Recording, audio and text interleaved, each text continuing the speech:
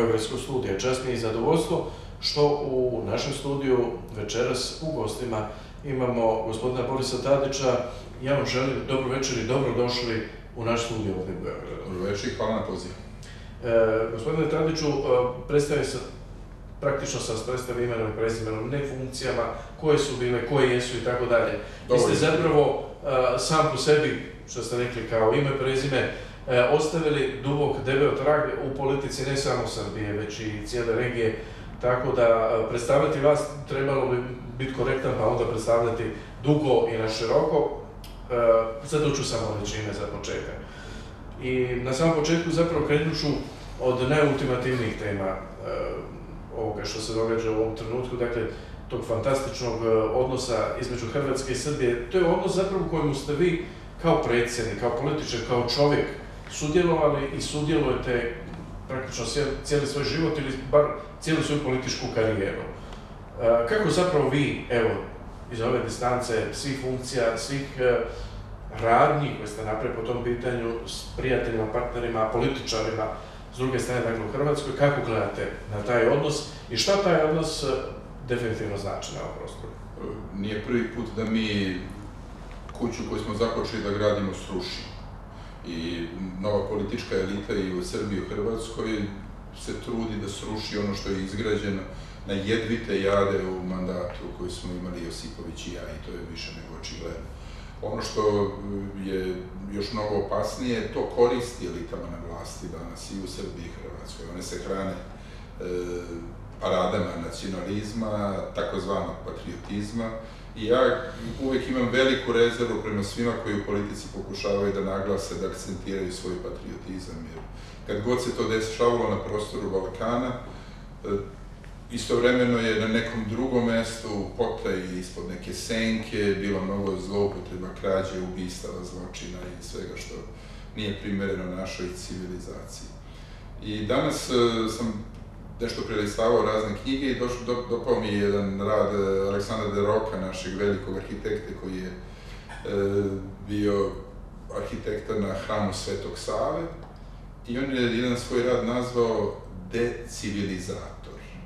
I čini mi se da taj naslov odgovara političkim elitama koje danas vrše vlast na Balkanu nakon velikog pokušaja da ponovo civilizujemo u političkom smislu, mirovnom smislu, su domenu humanosti i političke pristojnosti ovaj naš zajednički prostor.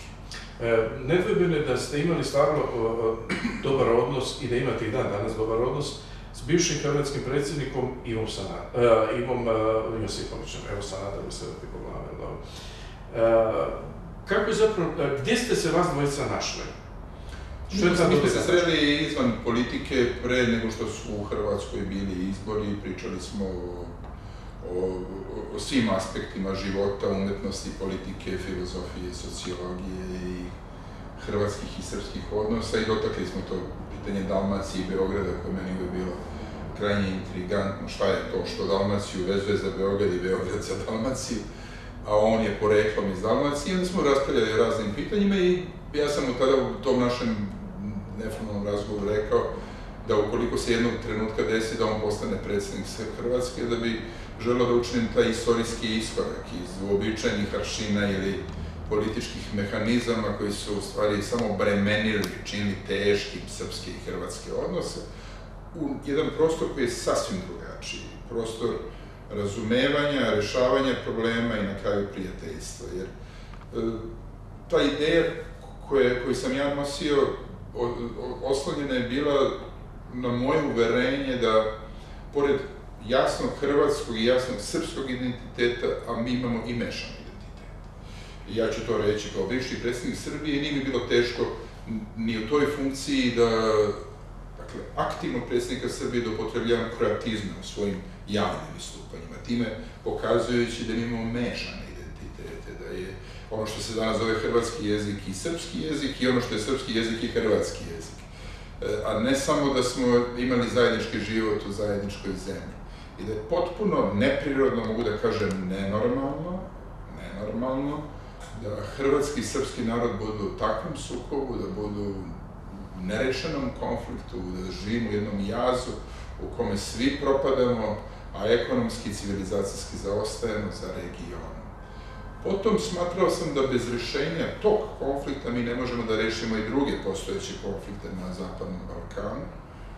To je konflikt u Bosni i Hercegovini. A smatrao sam da Srbija mora da pokrene inicijativu, jer Srbija imala odgovornosti za zbivanje 90. godina, pomirenja i prema svim drugim narodima i entitetima s kojima je bila u ratnom sukobu, na primjer, sa Albancima na Kosovu. I čak u istom smislu da se pomiri sa istorijskim protivnicima, kao na primjer sa Mađarima u Vojvodini, i da se pokrenu svi ti procesi. Ja sam sve te procese započeo, manje ili više, ali u centru mojih, moje strategije bio srpsko-hrvatski odnos, jer bez rešenja tog, tog konflikta, tog nesporazuma, tog spora ili, ili tog antagonizma nije moguće pacifikovati prostor zapada. Da, i što se zapravo događa nakon toga? Zapravo postoji, ako tako možemo reći, jedna, jedan retrogradni proces. Vi, gospodin Josipović, došli ste u jednu fazu gdje ste stvarno zajednički išli, poklonili se žrtvama jedne i druge strane, I sada imamo ovo što imamo. Pa imamo sada jedan politički teatar u kome se razmenjuju buketi, e, razmenjuju pokloni, vrše se susreti koji su teatralni uz mnogo medije na mostovima i za kojih nema ni jedne suštinske reči, niti jednog gesta. Jesu li sadržaje? Rekli ste teatr? Nema nikakvog sadržaja, nema apsolutno nikakvog sadržaja, nema ni kulturne razmene, nema ni e, napretka u domenu ekonomije, političke razmene, ne prosto ono što je postavljeno kao temelj naših odnosa e, nije razvijeno, govorimo o periodu predsjednikovanja Josipovića i mene, nije razvijeno, već imamo u stvari jednu degradaciju, pali smo civilizacijski da dole. Hrvatska je umeđu vremenu ušla u Europsku uniju, to se desilo pre mandata ove vlade, što je veoma važno. U Hrvatskoj je postojalo u tom vremenu nepoverenje da li ću ja zaustavljati u spojno-političkim odnosima e, proces integracije, da bi se Srbija pridružila tom vozu. Meni to nije bila namera, nisam ni jednog trenutka tako nešto pokušavao.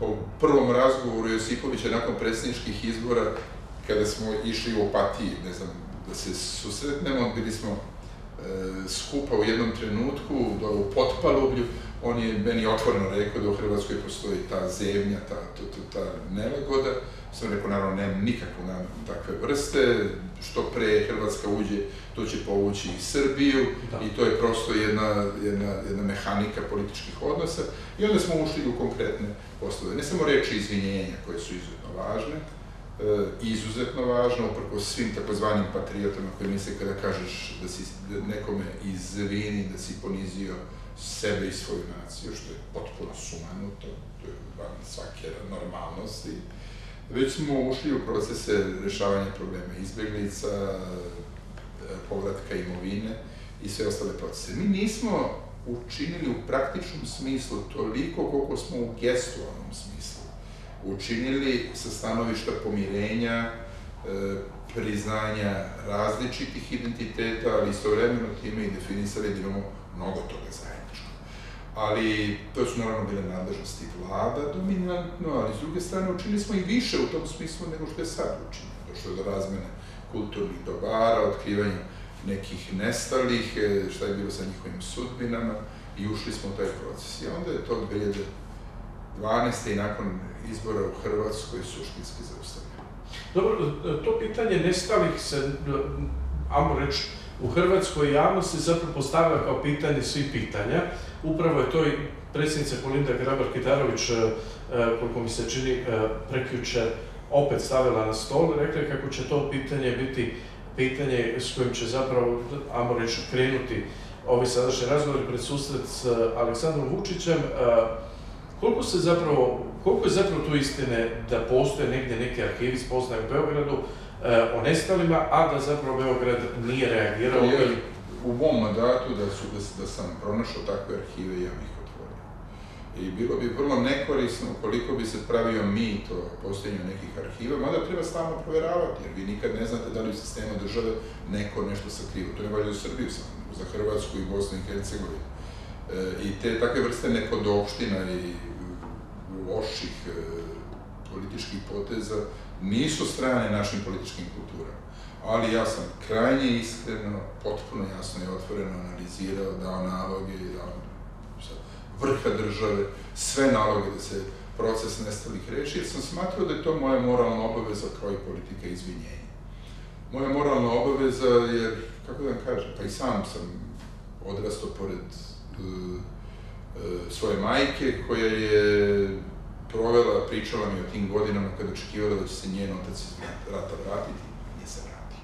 Ja znam šta to znači za decu, šta to znači e, za ukućane e, i to je, sam smatrao, mojom elementarnom ljudskom moralnom obavezu i pristojnošću da radim na tom. E, užasna je okolnost kada politika manipuliše sa tako dubokim ljudskim osjećajima Ja to nisam radio, sasvim sigurno nisam radio. Da li u Hrvatskoj postalo uverenje da ja iskreno tome pristupam ovog trenutka, to ne znam, ali znam da se uvek vraća na to pitanje, ali nije dobro da se politika oslanja na mitove i zato bi trebalo nastaviti to iskreno i sa prisustvom jedne i druge strane u procesu traganja za nestalima. Srpske strane u Hrvatskoj, hrvatske strane u Srbiji, da se to poverenje izgrađuje sve vreme. Što mislite da, što je zapravo, evo, kako vi zapravo gledate, ovaj uh, posjet koji predstoji uh, srpskog predsjednika u Zagrebu, uh, što taj posjet može konkretno? Pa ništa se nije desilo njim nakon prošlog posjeta. I susjeta na mostu. Čemu onda služi taj posjet? Pa služi teatru. Znate, Vučić je veliki majstor ne politike, nego teatarskog prikazivanja jednog, ne manipulacije političke i spinovanja. E, ukoliko e, moja prijateljica Kolinda odreaguje na isti način, to nije dobro, to nije dobro, ja bih poslao poruku da ne učestvuje u teatru, nego da, e, ako već kojim slučajem Vučić ne može, da ona insistira na suštini i sadržaju tih odnosa. E, sa Plenkovićem nikada nisam razgovarao o tom aspektu, jednom prilikom sam ga nakratko susreo u Sjedinim američkim državama, e, ali sugestija bi mi bila da se od tih uobičajenih formi političkog odnošenja krene na suštinu. Dakle, ta razmena nota, e, besmislenih poruka koje nas, opet kažem, civilizacijski vraćaju dole, sad i o povodu izložbe u Jasenovcu, i s jedne i s druge strane, sad moram da kažem, i s jedne i s druge strane. E, sve je to jako loše i toga suštinski nije bilo ni u mom predsjedničkom mandatu.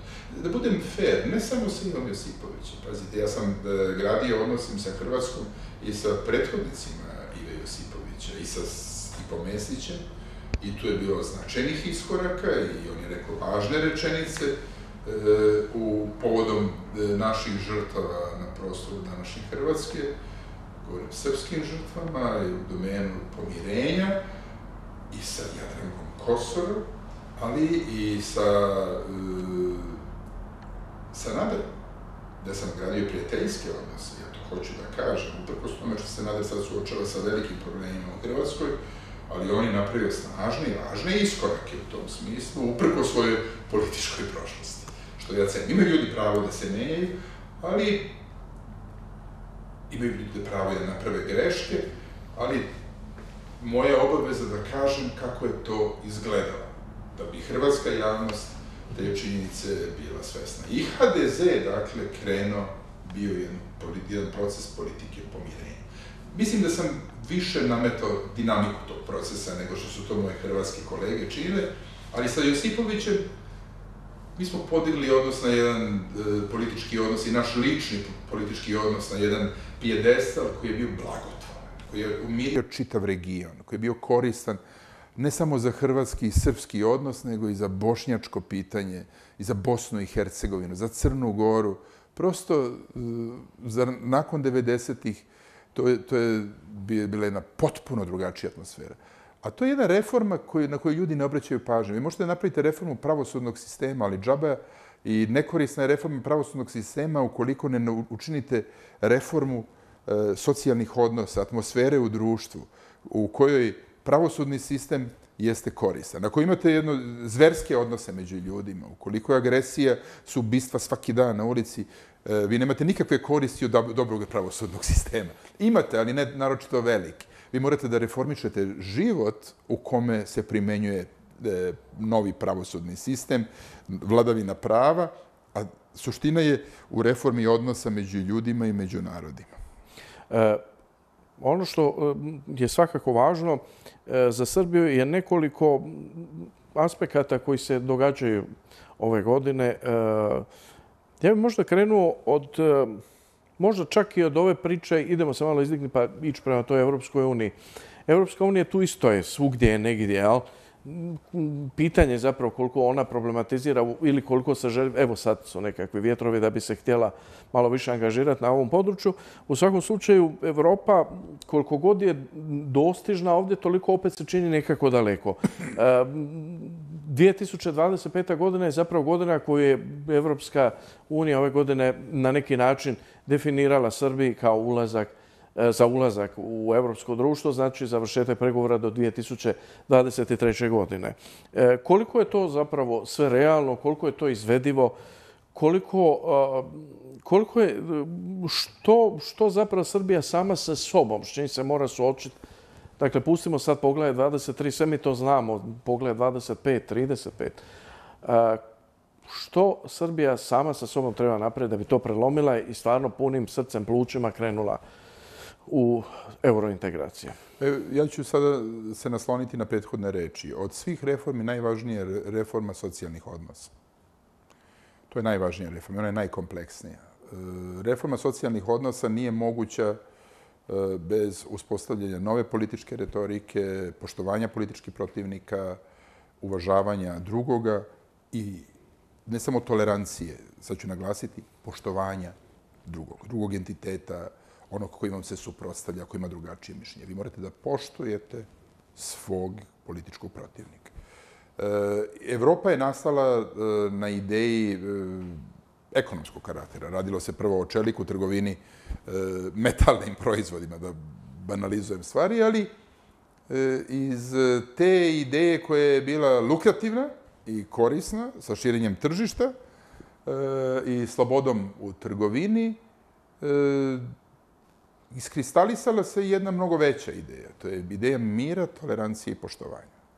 Kultura i naroda koji su bile u, u stoletnim sukobima, u krvavim ratovima, u zverstvima koja je teško uporediti sa bilo kim, pa čak i na prostorima bivše Jugoslavije. E, Evropa je više živjela u periodu ljudskih klanica, govorim namerno ove brutalne reči da bi E, na neki način uznemirio duhove, e, nego u vremenu mira i pacifikacije i pomirenja. Ideja Evropske unije je najveća ideja mira u istoriji sveta. Nema veće. E, I zato je ideja Evrope na prostoru Balkana, Zapadnog Balkana, bivše Jugoslavije, posebno važna. Jer naše političke kulture dominantno nas vode prema sukobima, ne prema pomirenju i E, rešavanju konflikata na trezven, racionalni, miran način. E, e sada, da li će Srbija 2025. godine kao društvo biti spremno da postane članica Evropske unije? Imamo i primere nekih drugih društava koje su članice Evropske unije koje nisu izvršile te fundamentalne socijalne reforme. E, kada se one ne izvrše, onda brzo društvo sklizne u korupciju, kriminal, u slamanje civilizacije, u decivilizaciju. E, I ono što jeste moja briga, to je proces na koji evropljani ovog trenutka ne obraćaju pažnju. U Srbiji, ja to svugde otvoreno govorim, mi se suočavamo sa jednom agresivnom vlašću, netolerantnom vlašću, vlašću koja je na najbrutalniji način spremna ne da poštuje, nego da uništava političke protivnike, da ljaga političke protivnike. Ne znam da li u Hrvatskoj reč ljagati ima svoje pravo mesto, da se baci blato na lice političkog protivnika, oblatiti, oblatiti ga, da on više ne može dostojanstveno da korača, a nekmoli da učestvuje u javnoj debati o svim socijalnim i političkim pitanjima. To je takva vrsta vlasti. Dakle, to je današnji naprednjaci imaju svoje rodno mesto, to je Srpska radikalna stranka. Srpska radikalna stranka je jedna sramota za Srbiju. E, za svakog civilizovanog i pristojnog čoveka, to je sramota. Znači, ne možete vi da pripadate stranci koja je izgnala, izgnala ljude iz svojih e, kuća zbog toga što su pripadnici drugih nacionalnih manjina. Ovdje smo imali stravične scene sa isterivanjem Hrvata i stanova u, u, u Zemunu u tom vremenu. Oni su se dičili time. Ko se normalan diči tako nečim? E, to isto mislim za njihove kontraparte u Hrvatskoj. Meni su, ja ne mogu drugu reći da upotrebim, nego odvratne takve manifestacije ljudskog političkog ponašanja. Ali sam se uvek borio na civilizovan način protiv njih. Morao sam čak da, uslovno govoreći, i uvažavam i njihov legitimitet, jer je to deo demokratije. Sada kada su oni transformisali svoju politiku strateškim ciljevima i više nisu glavni neprijatelji Evrope na tlo Srbije, nego takozvani prijatelji Evrope, oni su zadržali svu retoriku i čitav politički asortiman e, nekadašnje srpske radikalne stranke. Sve je isto, znate.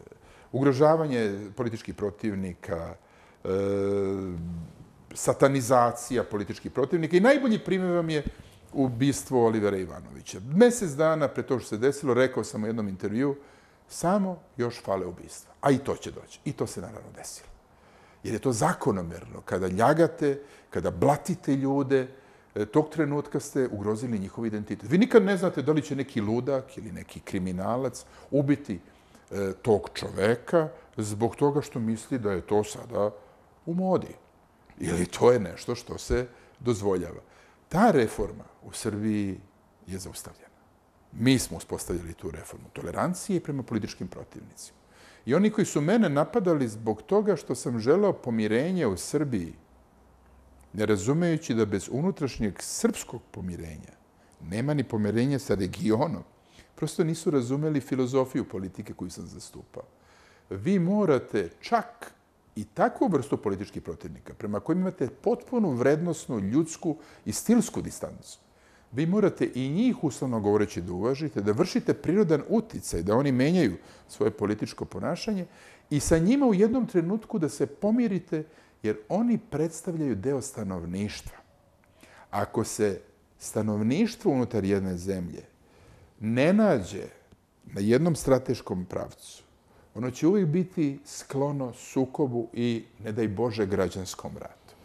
A takva zemlja destabilizuje čita prostor Zapadnog Balkana gde su podele strahovite.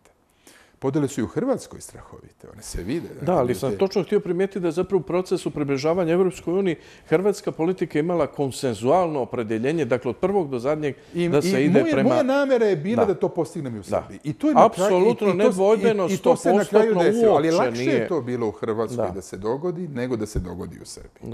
Mogu čak i da obrazlozim zašto je to lakše. Hrvatska desnica hrvatska desnica, ona je pripadala uh, jednoj e, uh, takozvan klerodemokratiji, e, bliska je bila crkvi, iako su mi uvijek bile sumnjive te politike koje su bliske crkvi, ne pokazuju elementarnu sekularnost. Ali hrvatska desnica je nekako smatrala da je Vatikan prirodno na zapadu jedna od ključnih institucija evropske političke civilizacije. I tu je postojala snažna podrška. A srpska desnica, koja je ta klero desnica, ona je uvek koketirala sa nekim uh, E, istočnim pitanjem. Da li je bliska Atini, što bi bilo e, blisko Evropskoj uniji, ili Moskvi, koje je bilo u antagonizmu i spletom različitih političkih okolnosti sa političkom Evropom. Sa političkom Evropom. Iako ja smatram da Rusija pripada Evropi i samo potpuno e, nesposobni za strateško mišljenje evropski političari odguruju Rusiju od, od sebe. Umjesto da je privlače sebi, čine so, Evropu u političkom smislu atraktivnom i za Rusiju, da bi se taj konflikt koji je strašan iz vremena hladnog rata rešio, da bismo živjeli na pacifikovanom prostoru, jer ideja Evropske unije je pacifikacija. Ne možete je uspostaviti ukoliko ste u stalnom sukobu sa nekim sa kim delite prostor, kontinent, stan, kuću, zemlju, region. E sada, da li će se Srbija stvarno približiti Evropskoj uniji? Ona formalno pregovara. Ona čak i napred, pravi napredke u reformskom smislu u pojedinim oblastima. Pojedini čepteri, pojedina poglavlja pokazuju Iako za sad ne toliko bitna. Znamo da je najbitnije pravosuđe, ljudska prava i tako dalje, koje su ključne. Ne ona fundamentalna vrednost, ali imamo novi problem. E. A novi problem je u Evropi, ne samo u Srbiji. Ja, želim, ja stalno ukazujem na taj absurd, na tu kontroverzu u kojoj se mi nalazimo. Srbija pregovara o članstvu Evropskoj uniji, primjenjuje određene reforme, njeno rukovodstvo je sve samo nije u vrednostnom smislu evropsko, na, jer ugrožava život svojih političkih protivnika, a ne da je tolerantno u demokratskom smislu, a Evropa paralelno sa time takođe na neki način kleca pred izazovima populizma. Pogledajte vi tu od Baltika do Jadrana, tu vertikalu populističkih režima. Poljska, Mađarska, Srbija i Hrvatska, evo, baš čist populizam pre izbora Plenkovića i vlade i ne bi volao da Plenković također kroz pritiske, kroz HDZ populizma sklizne u tu politiku. On je u iskušenju. Crna Gora, Ali dobro se drže. Turska i tako dalje. To su strašne stvari. Evropa je ta koja će sad morate vi da postaje pitanje, a ko smo to mi? Kad kažem Evropa, Dobro, mislim to je sada, u ovom trenutku je vodeća politika u Evropi, za razliku od socijaldemokracije, Naravno, te je... politike koja je jednostavno na koljenima u ovom trenutku. Koje su to evropske vrednosti kada da. vi Rome, na primjer, segregirate? Koje su to evropske vrednosti kad ste netolerantni prema izbjeglicama potpuno? Ja ću sad otvoriti na drugi način to pitanje. Dolazim iz Jordana, imao sam razgovor sa jordanskim kraljem pre nekoliko dana. To je zemlja koja ima 40% izbjeglica. Neko će reći jer oni su iste vere. Ali unutar te vere postoje diverzifikacije i razlike. Ne samo u hrišćanstvu. Da malo pogledamo i drugu stranu. Ali i ti ljudi koji su izbjeglice u Jordanu, koji žive, 40% stanovništva su izbjeglice. Oni su bili i neprijateljski prema vlasti u Jordanu kroz davniju i skorašnju prošlost. Više je izbjeglica došlo u Jordan procentualno nego u Tursku.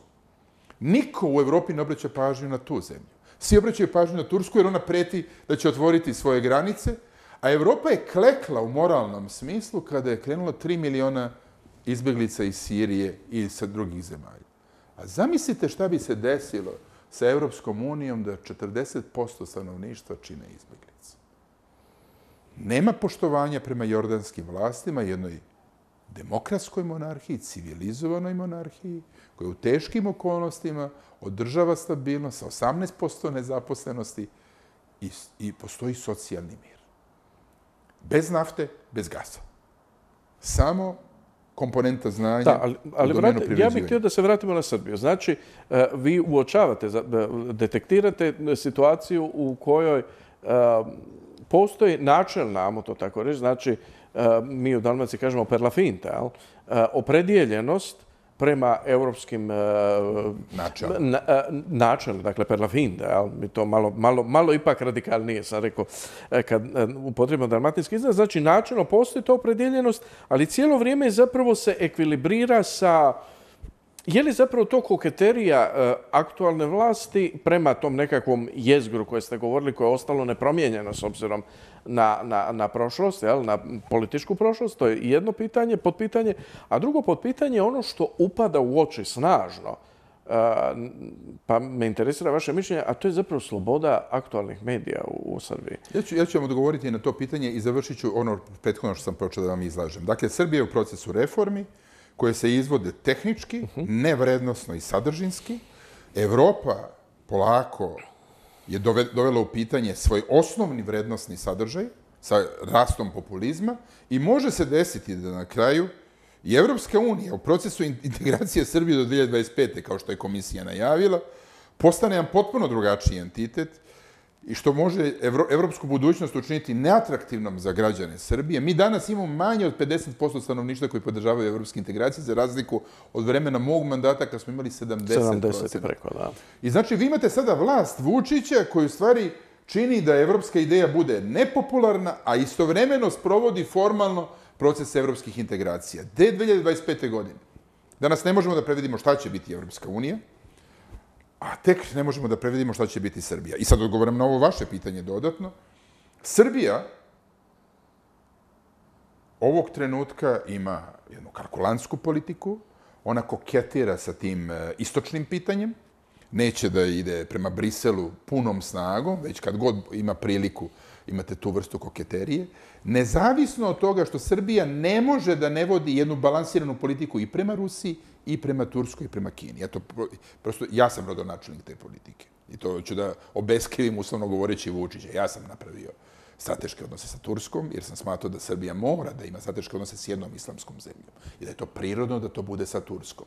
Ali to bilo u vremenu Abdullah Gila, a ne u vremenu potpunog populizma koji danas imamo kad je on bio predsjednik i sa njim sam radio na, na takvom strateškom partnerstvu. Ja sam postavio strateško partnerstvo sa Kinom, jer je to korisno da Srbiju. Sad vidim da mnoge zemlje idu u tom pravcu, jer nema dovoljno novca i kapitala za investicije na tlu Evrope. I e, istovremeno sam započeo izgradnju strateških odnosa sa Rusijom, koji su potpisani kasnije. Ali sam to radio po modelu Španije i Italije, evropskih zemalja, da ne bi ugrozio budućnost Srbije u Evropskoj uniji. I sad vi mene pitate da li postoji mogućnost da Srbija ponovo preokrene u drugom kravcu. Da, postoji ta mogućnost. Sa Vučićem na vlasti, Dačićem na vlasti, vi nikad ne znate. Pošto sam ja imao komunikaciju s njima u političkom smislu, ja znam njihove karakterne strukture, vi nikad ne znate. Ja pripadam politici evropske ideje i demokratske ideje. Koliko je to, ovo što ste rekli sada, koliko je to podnošljivo za narod u Srbiji? Narod u Srbiji je zbunjen. Da nikad ne zna što će ga... Narod u Srbiji je zbunjen narodu Srbije. Ako biste pitali prosječnog glasača e, Srpske napredne stranke, ide li Srbija u Evropsku uniju ili u Evroazijski, e, Evroazijsku zajednicu? On ne bi znao da vam kaže.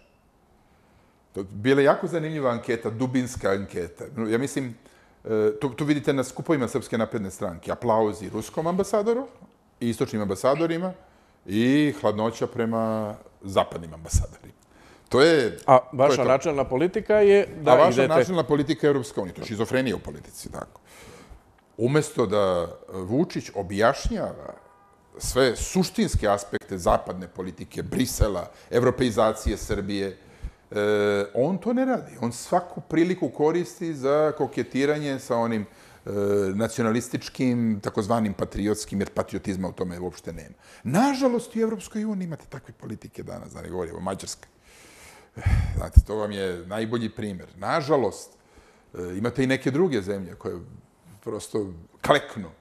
Sloboda medija, to, to Sloboda medija uopšte nema, to je više nego jasno i nije sloboda medija ni u mom mandatu bila na najvišem nivou. Ja uopšte ne želim da da govorim laži u politici.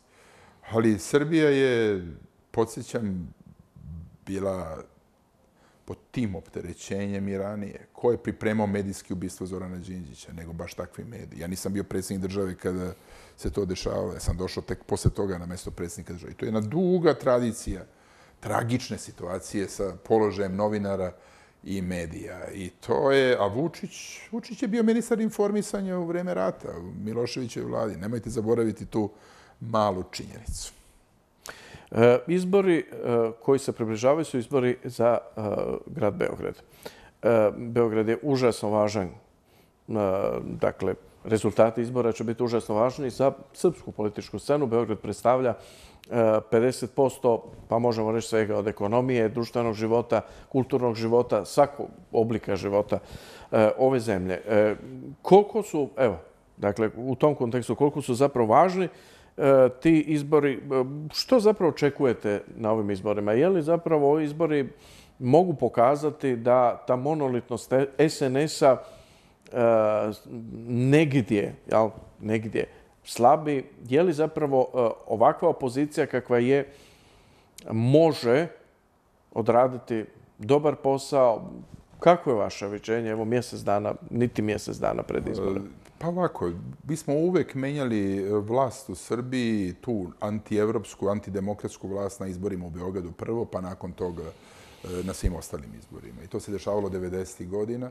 I u tom smislu, beogradski izbori imaju potencijalno kumulativno dejstvo. Čak i ukoliko ne dođe do uspeha sadašnje opozicije na izborima u Beogradu, veoma je važno postići veoma dobar rezultat i formirati jedan politički sistem, mogu kažem, jednu veću političku stranku. Zato sam dao ideju da se pristupi obnovi ideje velike demokratske stranke koje smo nekada svi pripadali, e, kako bismo se mogli suprotstaviti ovom čudovištu političkom koje je predstavlja Srpska napredna stranka sa 730.000 stanovnika, znači de, članova, znači 10% stanovnika Srbije, što o, politički sistem u Srbiji čini jednom partijskom državom. sa privilegijama za članove te stranke, više nego ikada u istoriji. To, to je bilo toliko u Savjezu komunista u bivšoj Jugoslaviji preko 2 miliona članova na 23 miliona stanovnika. E, I sad je jako važno postići rezultat. Da li je opozicija u stanju to da uradi? Nikada nismo pobedili, čak i ukoliko nismo verovali da možemo da dovedemo do pobede na izgled izgubljene bitke. E, na jednom skupu gde su ljudi pokazali određeni defetizam pre nekoliko dana, ja sam samo to rekao kao svedo, kao stari ratnik. 1997. godine smo dobili skoro nemoguću bitku za grad Beograd i za lokal, kada je bilo skoro nemoguće pobediti Miloševića, koji imao i zapadnu podršku, jer je bio faktor stabilnosti, posjećam vas, u onom vremenu. 2000. godine ja sam bio zadužen ispred demokratske stranke da pregovaram sa srpskim pokretom obnove koja je u tom trenutku bila najveća opozicijna stranka, e, da pristupi koaliciji DOS i onda sam dobio odgovor, ma nemoguće je pobediti Miloš, Miloševića, nemojte da to uradimo. najveća stranka je ostala izvan, što nas je činilo slabijim za konačni uspeh, ali smo pobedili. Pobedili smo zato što smo uneli komponentu privrženosti toj ideji, izvesnog fanatizma, rizika i radili smo stvari... Da, riskirali ste, to je istina. Pa naravno, naravno. Radili smo stvari koje ne bismo u, u regularnim okolnostima radili, prosto smo ginuli za tu stvar. 2004. godine mi smo, ja sam dobio predsjednik, pobedio na predsjedničkim izborima kad to niko nije očekivao. Svi su mi već videli Nikolića na mestu predsjednika Srbije. To je bila nemoguća misija. I 2008. se to ponovilo. Moji članovi predsjedništvo tadašnje demokratske stranke i, i neki ministri su dolazili do mene i rekli e, pa nemamo šanse da pobedimo koaliciju e, Nikolić, Šešelj, Koštunica, Dačić i ta Koštunica je tada već postao antijevropska politička snaga. E, otvoreno. E, I opet smo pobedili. 2012. godine mi smo ponovo imali kao vlada do tadašnja većinu, što je bio prvi put da se to desilo na evropskom kontinentu nakon krize, da jedna vlada ima većinu. Ali ja sam izgubio predsjedničke izbore pored mojih grešaka i drugim delom zato što su ljudi ušli u uverenje da ja nemam šanse da izgubim te izbore. Jer su ankete pokazivale da ja vodim i onda prosto moja tadašnja stranka je bila lenja da izvodi građane u Beogradu na ulici. Bilo je i lepo vreme, pa su ljudi otišli na do Ciganliju, sunčali su se prvi dan takav u godini i onda odjednom konsternacija i šok. Ali ja sam imao dovoljno političkog iskustva i upozoravao ih da ćemo vjerovatno izgubiti te predsjedničke izbore. Ja sam mislio da ćemo izgubiti za 1%, izgubili smo za 2%. Sad imamo nove izbore, beogradske izbore. E, ima ljudi koji kažu da li može. I u vašem pitanju je određena skepsa da li možemo da pobedimo ovako jak, totalitaran, dominantan politički sistem. Možemo. Možemo. Ali kako? Ali je potrebno uneti komponentu fanatizma, potrebno je pokrenuti ljude, potrebno je pokazati ljudima da je uprkos tome što smo suprotstavljene liste, uslovno govoreći, da nakon izbora krećemo zajedno. Moramo Ko je taj lider koji bi to... Moramo da kažemo... Koja je to energija koja moramo to morala... Da, ja mislim da bi trebalo da potpišemo dokument u kome ćemo reći da nećemo sa Vučićem i sa Miloševićevim, nego ćemo sa, jedni sa drugima praviti vladu, da se obavežemo moralno da ćemo to raditi, da ćemo sarađivati u Beogradskom parlamentu zajednički, tada će taj, tih 5% stanovnika koji mogu da odluče imati motiv da izađu, pokazati poverenje prema nama. Ko je taj koji bi to mogao da uradi? Evo, svako od nas treba da da maksimalan doprinos. Zato sam i rekao da demokratska stranka nakon ovih izbora treba da krene u proces obnavljanja velike ideje stranke, da svi bivši lideri moraju da se skupe sa belim papirom, da ispišemo zajedno parametre kojima ćemo formirati tu stranku, jer bez te ideje Ne govorim samo o stranci. Bez te ideje nije moguće suprostaviti se ovoj e, političkoj pošasti koju naprednjaci u stvari čine, koja je jedna stranka obmane, stranka laži, a ne stranka istine i stvarnih reformi. Spomenuli ste greške, svoje greške. Što biste istaknuli kao greške koje su, koje su vas koštale mandata? Nisam ja izgubio dominantno mandat predsjednika radi grešaka. svojih grešaka. Jer ja sam... Ali su greške bile. I ta, reći ću vam tačno kako je bilo. U Srbiji nema dovoljno političkih znanja i krhka i kratka demokratija u Srbiji na čitavom zapadnom Balkanu, tako da ljudi ne znaju osnovne parametre politike. Tog dana ja sam među građanima Srbije e, imao većinu. E, ni sam ne znam kako sam ja pravio te većine zajedno sa svojim saradnicima. Ali to se dešavalo I eto, praktično i treći put. Mislim da su izbori da se desili sutradan, da bi u šoku oni koji nisu izašli na izbore ovaj put izašli.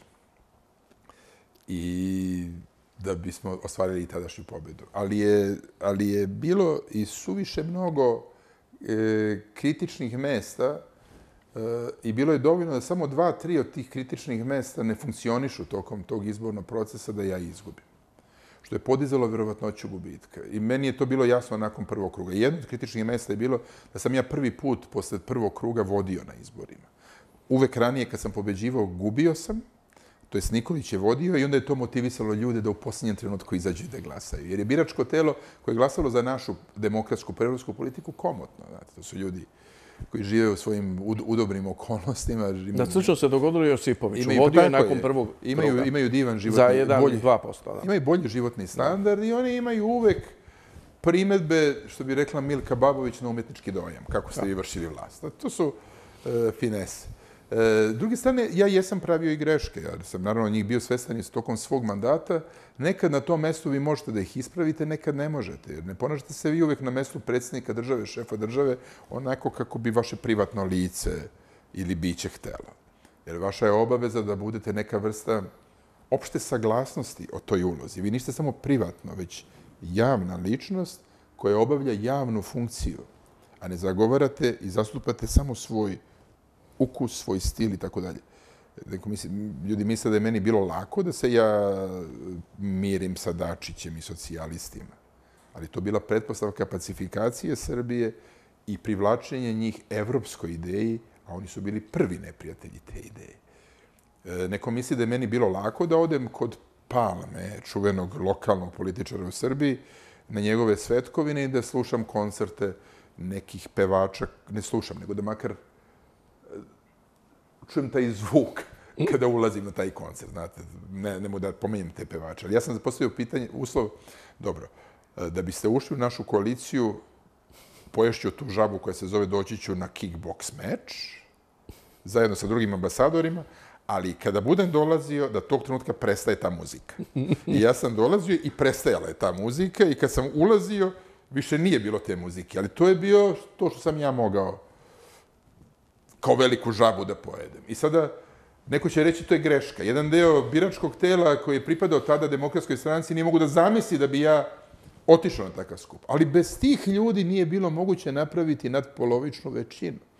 To što su neki e, snažni birači demokratske stranke verovali da smo mi dovoljni sami sebi tada, to prosto nisu imali političkog iskustva. Eh, oni su zaboravili da je Đinđić čak 92. godine hteo u vladu sa, Koštun, sa, sa Miloševićem, da bi uspeo da preradi njegovu politiku proevropsku politiku. Morate i sa protivnikom da pravite kompromis i rešenje da biste magistralni pravac i ključna pitanja sačuvali. Tako da su neki ljudi moje poteze doživljali kao greške, ali oni su bili imperativ politike. Imperativ politike. Morate da se pomirite sa onostranim, ne sa sobom samim. Jer ako se mirite s ovom samim, mnogi će vam psihijatri reći da ste malo šizofreni.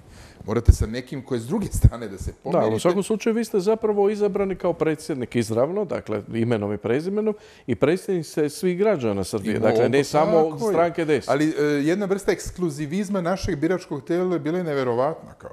Pa dovoljni smo mi sami sebi. Šta se ti sada miriš sa njima kad su nam toliko zla učinili? Pa mire se neprijatelji. Ne mire se prijatelji neprijatelji da bi se napravili veliki istorijski iskoraci. Ali jedna od najvećih grešaka je bila naravno kadrovska greška. Jer ja nisam dovoljno pažnje posvećivo tim pitanjima jer sam bio strahovito zaokupljen međunarodnom pozicijom Srbije koja je bila jako loša. I tu su velike greške. Međutim, bile oni koji smatraju da sam se previše mešao u posao vlade. Ja se nikad nisam mešao u posao vlade, a baš nikad. Ali stvoren je takav utisak. A da sam se umešao u neke reformske procese, mi bismo danas imali završene, na primjer, verovatno i reformu pravosuđa, što bi bila velika stvar, a ja to nisam uradio. Prosto sam pustio one koji su nadležni da to čine, ali utisak u Srbiji sasvim drugačiji. Neko će danas reći da je moja greška što sam napravio srpsku naprednu stranku. Slušam mnoge polointeligente da to govori. Nekako je to već se spostavilo kao nešto, neko vjeruju u Srbiji da sam ja pravio Srpsku naprednu stranku, što je naravno notorna laž. Napravio Tomislav Nikolić. Kad mene obaveštavajući da će podržati ideju evropskih integracija, što je za mene bio šok, eh, napuštajući Srpsku radikalnu stranku kad me informisao, to je bilo iznenađenje i za mene. Ali ono što sam ja radio, pravio sam atmosferu u društvu u kojoj se pravi konsenzus u evropskoj politici. I vršio sam pritisak na svoje političke protivnike koji su ugrožavali tu politiku, jer je ona dobila većinu na izborima, smatrao sam da je legitimna, ja je zastupam i moj zadatak je da pobeđujem, da slabim protivnike te ideje, ali kao posljedica te politike nastala je Srpska napredna stranka. Ali je problem u tome što ta stranka nije stvarni zagovornik evropskih integracija, već je tome prišla iz krajnje lukrativnih razloga da bi dobila podršku nekih zapadnih zemalja i da bi lakše došla na vlast. Jer oni imaju i nacionalističko, takozvano patriotsko, po znacima navoda, biračko telo, a imaju i deo evropskog biračkog tela danas. Dobro se zapravo to smislilo u jednoj strategiji kako doći na vlast. Pa lukavo su to smislili i to nije neinteligentan potez, ali to je prosto njihova kreacija i njihovo delo. Čovjek koji sad vlada Srbijom nije u tom trenutku prišao toj ideji. On se nadao da će postati VD predsjednika Srpske radikalne stranke. Pa kada je Šešelj izabrao drugoga, on se naljutio i došao do Nikolića.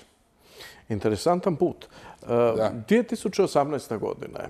E, koliko god gledam unaprijed, toliko e, mnoge naše političke elite gledaju unazad i tako dalje. Mi ćemo, evo, u ovom trenutku možda pogledati unazad na 1918. godinu. Znači, ove godine je praktično 100 godina od kada je e, utemeljena zajednička država, dakle, prije 100 godina je, zapravo našli smo se, a reći, za istim stolom i krenuli u nekakvu zajedničku sudbinu koja je trajala 71, odnosno 72 godine. Proglašena je 200 metara daleko odavde. Eto je. E, Jugoslavija. Znači, to je jedna tema. Kada, kako se odnosite prema toj temi? Koliko mi se čini danas je, eto kao što smo u jednom razgovoru zapravo spomenuli, nakon svega zapravo ostaje možda jedino jugo nostalgija. E, ništa konkretnije politički od, od te Jugoslavije nije ostalo, nego zapravo ta jedna nostalgija. Kada će doći saznati vrijeme da se, evo, sa svih strana povjesničari, historiografi i svi ostali e, dionici u društvu nađu, sjednu i definiraju zapravo to, taj period vremena e, zajedničke države, jer očito ne samo da se razmimoilazimo svemu, razmimoilazimo se i u stavima prema Jugoslaviji, e, razišli smo se iz te Jugoslavije, ona je nestala praktično, nema je ni u tragovima neke velike države koje su nestajale, opet su zadržale neke, nešto, nešto postoje, neki trag, ona je praktično izbrisana, kažem, ostaje samo ta nekakva nostalgija, par simbolika. Kako gledate na to se skupa i što za vas to znači taj period? Pa neko će reći da svaka velika ideja koja, koja nestaje je i zaslužila da nestane jer nije bila dovoljno utemeljena i dobra. I ja to neću reći. Ja prosto mislim da su svi nestankom bivše Jugoslavije izgubili i mnogo manje dobili. Da, u Hrvatskoj su neki dobili tako što je Hrvatska povratila svoju državnost i međunarodno prepoznatost u punom obimu. E, to važi za Srbiju. Ja sam taj koji je kao predsjednik Srbije priznao rezultate prvi izbora, odnosno referenduma u Crnoj Gori. Još je tada postojala državna zajednica Srbije i Crne Gore, posljednji ostatak bivše Jugoslavije otišao sam u Podgoricu, čestito e, na tom rezultatu, iako sam bio protiv te vrste dezintegracije. E, I došao sam u Beograd i rekao, priznamo taj rezultat, Srbija je danas nezavisna država, idemo u Ujedinjene nacije, postavit ćemo srpsku zastavu e, i rekao sam, živela Srbija na jedan miran način. To učini svaki predsjednik u mojoj ulozi. Ali i uprko tome što sam to rekao i praktično učestvo u procesu izgradnje državnosti Srbije u fundamentalnom smislu i ne samo postanjem zastave Ujedinje nacije, već i donošenjem ustava i svega onoga što jednu državu čini državom. Ja mislim da smo svi zajedno raspadom Jugoslavije mnogo više izgubili nego što smo dobili. Dakle, mi smo nacije koje u odnosu na predviđene trendove razvoja zaostajemo u svim aspektima naše telekomunikacije su imale usporen razvoj u odnosu na ono vreme e, Končara, Pupina i slovenačke Iskre. E, naša oružana industrija je pala dole, više spratova i mi više nismo tehnološki u stanju da proizvedemo tank koji je bio stvarno izuzetno tehnološko ostvarenje toga vremena, niti prestali smo da budemo avijatičarske nacije, a bili smo, pravili smo i lovce E, koji dan danas e, imaju svoju ulogu. Čak Galeb 4, ja mislim da je po konstrukcijskim svojstvima, to mi se dočanstvo bivše Jugoslavije i danas, kompetitivan sa e, sličnim avionima, mislim na super Galeb, pardon, u svetu, samo sa poboljšanom mašinom, odnosno motorom, mogo bi biti konkurentan. Naša nauka i bazična i primenjena je prosto na nižem nivou, sve čast određenim izuzecima. E, naša košarka je slabija nego što je bila, naš futbal je slabiji nego što je bio uprkos sjajnim rezultatima pojedinačnih reprezentacija. Zamislite kako bi to sada stvarno izgledalo u košarci kada bismo se ponovo skupili, to bi bilo fascinantno, pa i u futbalu i u svim ostalim sportovima. Dobro, iako svoje dobro smo, možda i nismo pokazali najbolje rezultate, jer se morao poštovati taj famozni ključ. Možda i danas, kad bi se morao pa poštovati isključivo taj ključ, opet bi sastavili reprezentaciju e, koja, koja je morala poštovati ključ, a zapravo ne kvalitetu. Ali, Jeste, ali dobro, okej, okay, nastavite ali, dalje. Ali, ali, to je, ali sve su to projekcijone zone uspešnosti nacija i država.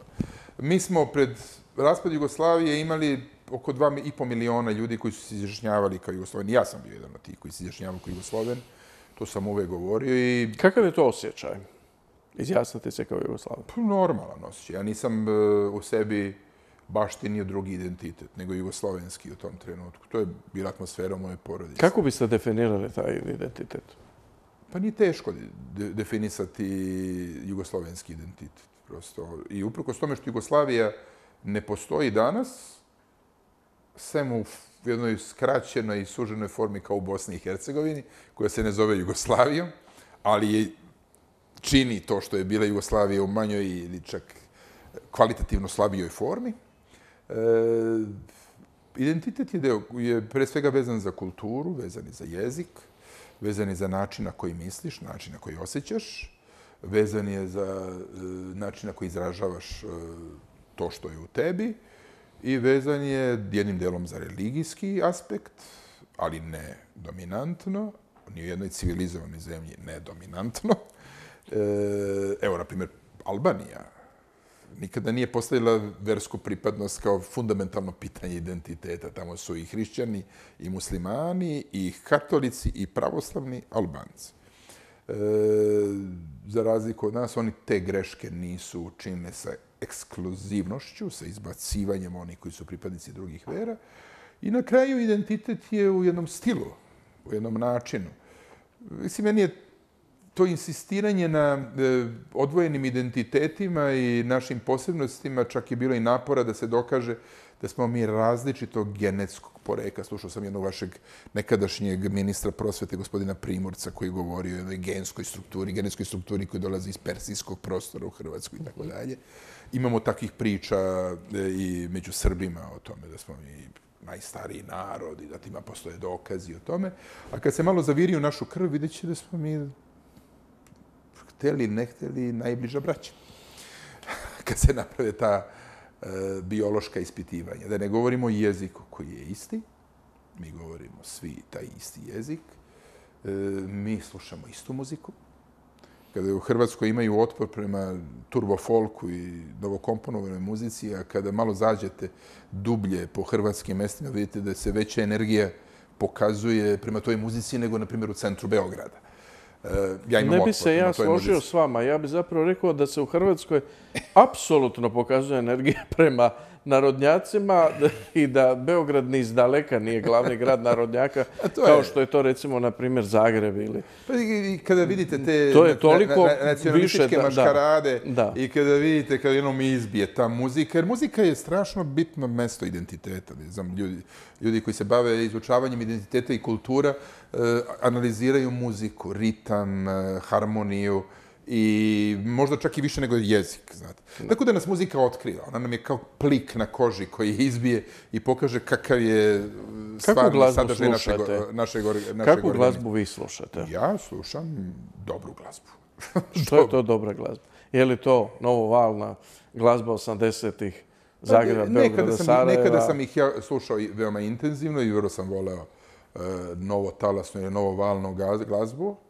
To je bila i moja e, muzika i to je bio trenutak kada je Jugoslavija bila na vrhu Evrope u muzičkom smislu. To ga se ljudi ne, ne samo u košarci, nego i u novom talasu. E, pa i u likovnom smislu par trenutaka smo ne baš kao u muzici u košarci. Bila, uvijek smo malo kaskali u tom smislu. Bili smo jaki u telekomunikacijama, ali ja, da se vratim na muziku, e, ja slušam nekada i klasičnu muziku, e, ne e, svaki dan, ali je slušam. Moja majka insistira na tome da jedem na koncerte s njom klasične muzike, tako da sam ja redovni posetilac koncerta na Kolarcu. I slušam, ali slušam i narodnu muziku, međutim ne slušam ovu odvratnu narodnu muziku, znate, koju Turbo niko, ne mogu uopšte da, da, da razumem to. Ali slušam narodnu muziku, mislim, e, muzika dalmatinski klapa je narodna muzika. Apsolutno. E, muzika kosovska, srpska je narodna muzika, bosanska sedalinka, iako je ona na neki način pod uticajem sefarske muzike, također je narodna muzika. E, e, to su naše muzike. I meni je uvek e, zanimljivo kad se nađu Srbi, Hrvati i Bošnjaci negdje u inostranstvu i kada probije taj zvuk kako smo odjednom zajedno. Mhm. I kako sve ove besmislice naših sukoba nestaju. I kad me pitate o identitetu, to se tu vidi više. Da vi ste zapravo rekli da ste taj identitet na neki način e, e, baštenili, odnosno na neki način ste ga pokupili, ako tako mogu reći, i doma. Kako se prema tom identitetu odnosio vaš pokojni otac, čiji je utjecaj jako veliki na vas ostavio? Pa sad sam pokušao da vam objasnim utjecaj moje majke, makar na, da. na muziku. Na, muzičku, na klasičnu. Terala me da sviram da. violinu kao mali i tako dalje. Iako sam ja bežao prema gitari. Moj otac je bio e, čovjek slojevitih identiteta i on je uvijek insistirao na sljedećem da je on evropljanin. On je na tome insistirao. I, a onda je bio Jugosloven, a onda je bio Srbin, pa Crnogorac. E, ali biti evropljanin, građanin sveta, je prosto najsnažniji identitet koji je u njemu bio. I bio sam mnogo puta prisutan u tim intelektualnim debatama. On je dakle bio filozof i praksisovac i levičarski orijentisani disident. E, u tim razgovorima sa svojim hrvatskim, slovenačkim, e, bosanskim kolegama, kada je o tome govorio, baš insistirajući na, na ideji Evrope. Ne možete imati ideju jugoslovenstva da nemate iznad svega ideje Evrope. Znači, ne možete vi da se zadržite u identitetskom smislu samo na jugoslovenskom, a ne i na evropskom prostoru. Ostalom, Jugoslavija je bila na neki način preteča e, Evropske, unije. pre toga Austro-Ugarska. Jednim delom čak i Otomanska imperija na prostoru e, Balkana, jer je ona baštinila u jednoj vrlo E, inteligentnoj formi mileta različite identitete. I oni su, Otomanska imperija imala toleranciju za različite e, Eh, identitetske diverzifikacije. Tako da oni koji smatraju da je to bila jedna brutalna i surova vlast, samo vrlo greše, makar kad su u pitanju identitetska pitanja. Neki narodi su opstajali unutar Otomanske imperije, kao na primjer Cinceri, a nestajali e, u novim političkim okolnostima nacionalnih država. E sad Jugoslavija e, je bio prostor u kome moj otac nalazio svoj identitet i bio veliki zagovornik Jugoslavije. U jednom trenutku kada je nastao rat, kao i mnogi ljudi na prostoru bivše Jugoslavije koji su imali jugoslovenski identitet, e, iz razloga visoke uvređenosti, zbog toga što e, nije uvažen njegova pozicija da kao crnogorac, srbin, ulaže svoj identitet u ideju Jugoslavije i Evrope, on se osjećao veoma povređenim. Ja sam tome svedok i ušao u sude, sukobe e, intelektualne i određene debate i sa svojim životnim prijateljima, koje je beskrajno vole. Naprimjer, Milan Kangarga, Žarko Puhovski. Ja sam tome svedok. I to je njega pogađalo. To je njega jako bolelo. E, ali nikada on nije doveo u pitanje tu identitetsku dimenziju u meni. Dakle, ja moja politika je u stvari suštinski bila naslonjena i na taj identitet. I politika pomirenja, politika uspostavljanja mira, debalkanizacije Balkana u kulturološkom smislu, to je ta politika. To pokupite od kuće. I to je naprosto tako. Neko ko to ne pokupi od kuće. Pročitao sam sada jedan posljednji intervju Koče Popovića. Uh e, od komunističkih rukovodilaca među Srbima najviše sam cenio Koču Popovića i Marka Mikesića. To su za mene bile dve fantastične ličnosti. I Srbija je u političkom smislu u vremenu komunizma civilizacijski najviše napredovala u njihovim e, periodima vladavine. Koča Popović, realista, general, vojskovođa, umetnik, pisac, intelektualac, tvorac ideje nesvrstanosti, on je tvorac ideje nesvrstanosti, velike globalne ideje u vremenu hladnog rata, e, je imao jedan jak koštar intervju prema Miloševiću pred kraj svog života, rekavši da je on jedan, Balkans, jedan bankarski pacov. Pretpostavljam da je rekao miš, ali dobro, data je jedna agresivnija komponenta i nije moguće, nemoguće da je i tako definisao Miloševića. I rekao da će prostor Balkana biti satrt u krvi takvim politikama. I govorio je o svom identitetu. I rekao je da je uvijek bio čovjek sveta, građanin sveta, da je uvijek bio Srbin, ali nikad Srbenda. E, ja mislim da Hrvati nemaju to Srbin i Srbenda. Hrvati Hrvatina. Hrvatina i tako ne, možda i imaju. Ma ima. Imaju, sve, da. Ali to biti, sve te biti srben, da, da. to je... Sama ta reč oslikava primitivizaciju svog identitetskog, svoje nacije. Srben da nikad nije Srbin u stvari. Srben da je jedan primitivac, jedan prostak, koji misli da to što je pripadnik jedne nacije mu daje za pravo da smatra druge manje vrednim i da ni podaštava druge. Da pokazuje čak u određenom smislu i rasizam. Znate što je ispod svakog civilizacijskog nivoa. E, Srbende su uništili ideju demokratske Srbije. Ti šešelji, te srpske radikalne stranke, e, ti ljudi u socijalističkoj partiji Srbije koji su bili velike Srbende, znate, ti primitivci, ta turbofolk struktura koja je tu jednu finu dimenziju srpske kulture, evropsku dimenziju srpske kulture poništila, zatrpala svojim fekalijama političkim osramotila. Osramotila u ratnim zbivanjima i zločinima. Narod koji je bio žrtva. Postoje narod koji je druge prinosio žrtvi. Što je strašno. Moja politika je bila potpuno obrnuta. Ja sam pratio tu ideju.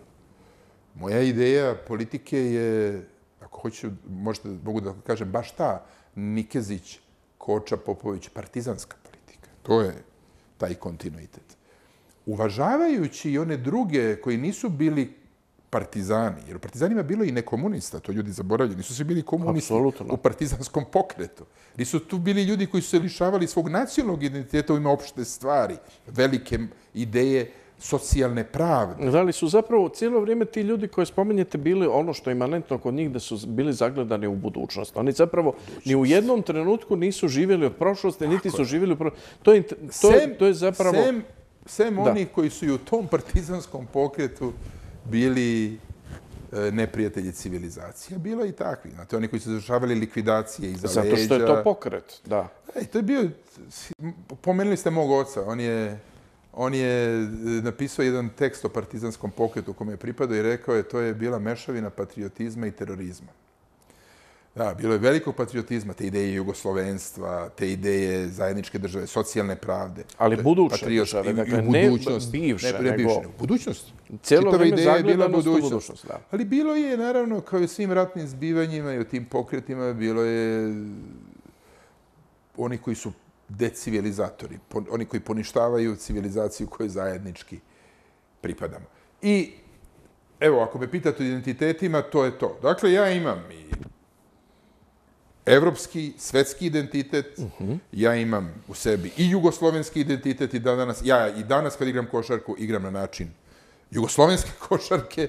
Tako pokušavam da asistiram i dajem koševe. Kada govorim, govorim i sa kroatizmima, govorim i sa i ovim takozvanim bosanskim jezikom, uh -huh. sa akcentima bosanskog jezika. Malo imam problema s ovim crnogorskim jezikom. E, to mi je teško da, da ga ugradim u, u svoj govor, ali on je evo, najmlađi i najnoviji, ne, ni podaštava ni taj jezik. Apsolutno, poštovanje e, i, i, Pa naravno, i, i govorim i kao beograđanin, govorim i kao srbin, govorim i kao crnogorac, ali ne dozvoljavam nikom da mi ugrozi ni jedan od mojih identiteta i branim ih sve. Jer verujem da smo mi evropska kultura i evropska civilizacija. Kada odem u Dalmaciju, kad mi kažu Šior Boris, ja se osjećam ispunjen. I to nije meni strano. Dobro, koja je zapravo vaša evo, prva asocijacija kada se spomene Dalmacija, Split, ali evo prije svega Dalmacija? Što u vama da je prvo? E, odmah mi je teško. Ali nije mi teško zbog toga što uh, imam distancu, nego mi je teško što osjećam blizinu. Znate, to je, bliskost, da. Strašno bliskost. Ja sam, dakle, ta generacija koja je odlazila na more i od početka svog života i roditelji su me puštali dva, tri meseca da ostanem tamo i, e, i, i bivao sam u siromašnim porodicama. Znate, onim siromašnim, to kaže škutorska porodica, ne mogu više da se setim tih izraza, e, onih težačkih porodica, ljudi koji su korak po korak gradili neku svoju kuću. Ja nikad nisam letao u hotelu. Ja nikad nisam letao u nekoj vili. Nikad nisam bio u opatiji, na primjer, u tim luksuznim prostorima. Nego tamo gde su e, neki domaći ljudi pravili od onih e, sivih blokova građevinskih svoju kuću, pa godinama ta kuća ostane bez fasada. Bez fasada, da. A ostanu i oni kablovi samo pri, prilepljeni e, vanka e. i sada vi uđete tu, iznutra je malo bilo ono okrečeno, nije, dobro, bilo, malo. nije bilo gletovanja i, i završnih radova, nego je to bilo prekrečeno da bude uredno i čisto i to su bile kuće, to su bile sobe, naravno, ne kuće, da su moji roditelji zamljivali, da su mene ostavili sa mojom sestrom, da smo bili i skupa. Znate, onaj e, krevet, onaj stari, E, veliki krevet, e. jedan kredenac, e. slika Bogorodice i to je to bilo. I mirisi. I, I oni mirisi. I, to, I tu sad vi ste od svoje druge, treće, četvrte godine to upijate. Stalno. Ja sam išao na ta obična, jednostavna mesta, sećam se Živogošća, Baških voda, Cresa, Visa, Lastova, to su ti moji lokaliteti, Živogošće, to je Makarska, uh -huh. Omiša, Omiš. i tu sam bio, uh, toga se sećam svega, uh, Vrsara, ali to su uvijek bili ti ambijenti. To su moji ambijenti. Ja uopšte, ne, ja uopšte ni dan danas, kad zamislim sebi odmor i Dalmaciju, ja sebe nikad ne zamišljam u nekom hotelu. Ja sebe uvijek zamišljam u nekom takvom jednostavnom ambijentu. Gore je uvek e, loza, neko se može čapnuti neko grožđe ili grozd. E, ta domaćica donosi kozije mleko iz neke planine, da bih ja mogao da ga e, popijem toga jutra. I svi me zovu Boris. Niko me ne zove Boris. Boris, Boris, kažu da. E, tamo. I ja sam to zapamtio i to je...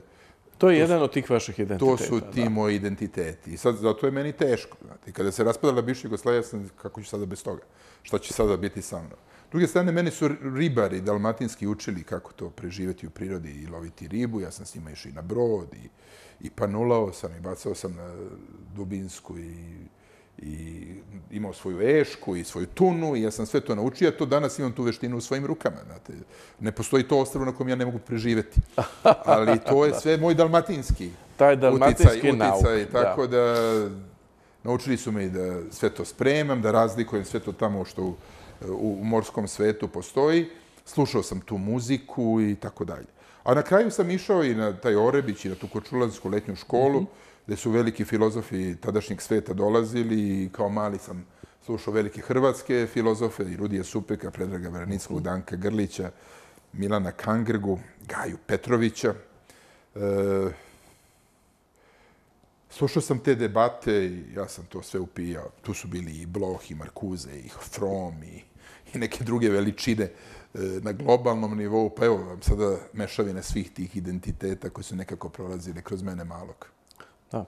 Došli smo na kraj emisije e, ovog našeg prvog u nizu druženja. Veseli me to što znam i pretpostavljam, ne znam, ali pretpostavljam da ako se bude u redu se i ovo ljeto vidimo na jednoj od krasnih lokacija u Dalmaciji. To me veseli. E, Umeđu vremenu, puno je posla, izbora, izbori u Beogradu. E, što drugo reći nego hvala vam i naravno želim puno uspjeha, pogotovo u ovoj vašoj političkoj inicijativi zbližavanje ponovnog objedinjenja demokratske stranke koja je u svakom slučaju jedna velika politika i velika politička stranka koja ostavila trag u socijaldemokraciji ove zemlje i mislim da je to nešto što je stvarno potrebno jer naravno, evo, ako ništa drugo kao floskula ili ne, ali u nas se često govore da nema dobre ljevice bez dobre desnice i nema dobre desnice bez dobre ljevice. Mora postojati balans.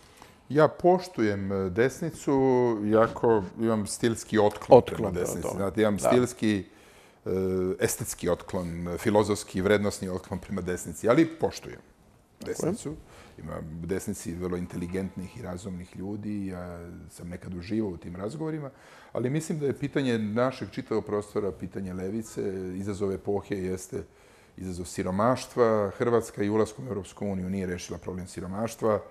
Srbija takođe i to su, to su ti... To, Zapravo prave izazove. To je to teško kamenje Balkana i, i bivše Jugoslavije i to, na to pitanje ne vjerujem da desnica može da adekvatan odgovor. U ostalom, desnica uglavnom vlada svetom, ali jaz među siromašnih i bogatih je sve veći. Novac koji e, mala skupina najbogatijih ima je veći nego ikada u istoriji da, čovečanstva. Točno, da, u ovom trenutku veći, najmanje bogataša s najvećim bogatstvom. Sa najvećim bogatstvom u odnosu na čitav onaj e, drugačiji svet. Imao sam uvek otklon prema bogatašima, ali i njih moramo da razumemo jer mogu da pokrenu određene stvari. Međutim, mislim da je levica, na levici je budućnost na prostoru bivše Jugoslavije. Tako je. Hvala vam lijepo puno Hvala još vam. jednom na gostovanju i do sljedećeg susreta. Uživao sam u ovom razgovoru. Nadam se da sam nešto odgonetno o tome. Vidjet ćemo kad budemo preslušavali i pregledavali materijal. Hvala vam lijepo još jedan put, poštovani gledatelji. Gledali ste emisiju Regional iz našeg Beogradskog studija. Ostanite uz program televizije Jadran do gledanja.